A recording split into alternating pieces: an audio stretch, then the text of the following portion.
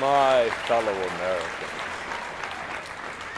ladies and gentlemen of the United States, I want to be your U.S. Senator.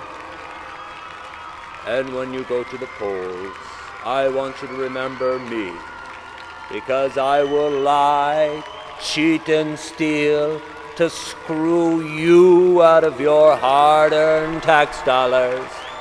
While you're sitting in your miserable lives, sitting in your miserable traffic jams, I'll be on the other side of the world on a fact finding junket partying hardy and not giving a damn about you. I'll be in the Senate taking money from special interest groups, making more laws to screw you out of your tax dollars and make your lives more complicated. While I'm sitting back having a great time wielding power and partying hardy.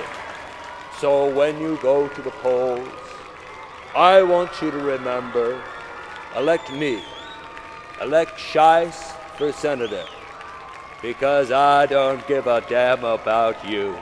I love you.